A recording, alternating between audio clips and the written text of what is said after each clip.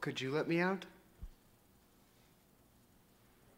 Uh, I know the whole reality thing. Could you just get me out of this?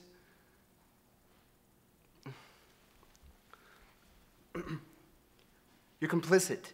You're complicit in all of this. If you don't let me out of this, you will be arrested too. My duty as a cameraman is to not. I know about your duty as a cameraman. Please, just get me out of this. If I disturb your natural state, I'm. This, this, this is my natural state being tied to a chair having to pee like a racehorse. Just let me out. I gotta call Harold.